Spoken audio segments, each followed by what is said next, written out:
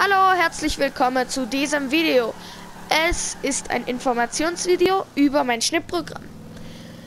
Falls ihr irgendein Schnittprogramm wisst, mit, wo auf Windows 10 läuft, aber bloß nicht Movie Maker, weil das funktioniert nicht bei mir, bitte schreibt alle in die Kommentare, denn ansonsten könnte ich nur diese langweilige ähm, Scheiß One-Taker hier bringen und darauf hätte ich echt gar keinen Bock.